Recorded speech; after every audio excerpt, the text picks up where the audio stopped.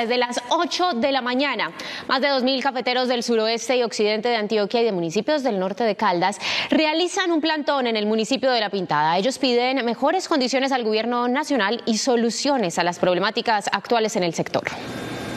Los cafeteros aseguran que durante un año han tenido reuniones con el gobierno nacional y no han logrado llegar a un acuerdo.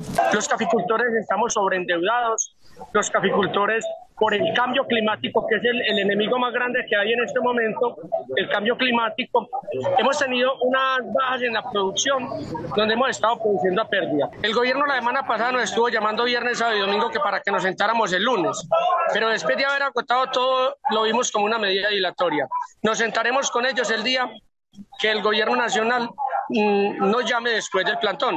El pliego de peticiones por parte de los cafeteros contempla nueve puntos. El reajuste del precio del café, que, recoja los costos de producción y que recoja eh, un margen de rentabilidad.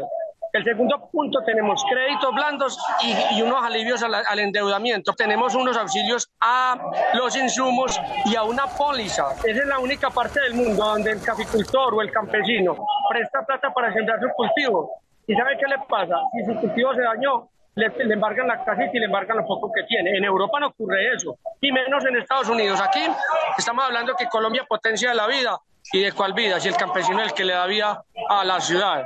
Piden también la creación de una mesa por la verdad cafetera, entre otros, con lo que esperan acordar soluciones en conjunto con el gobierno. De no ser así, hoy tendrán una fecha establecida para realizar un paro nacional indefinido.